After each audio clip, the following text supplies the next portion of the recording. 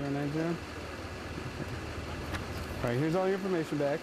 All right, I'm gonna issue a citation, okay? I gave you a break tonight. Speed limit was 25, you're doing 40. I knocked it down to 35 for you, okay? Does two things for you. Knocks $100 off the fine, okay? And it's only one point instead of three points on your driving record, all right? This is your court date if you want to contest it in front of a judge. If not, you can pay the 130 anytime on or before that date, and there's some instructions right there on how to do so. Okay, that's your copy.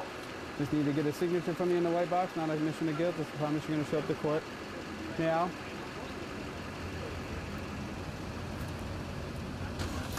Thank you, sir. I appreciate it. Any more questions? No. Yeah, have a good night.